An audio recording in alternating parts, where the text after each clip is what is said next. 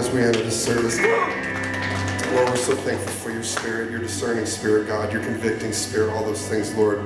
Draw it out of us, God. We want to be more like you every day. We want to be more like your son every day, Lord. Help us to leave behind the things that get in that way, God.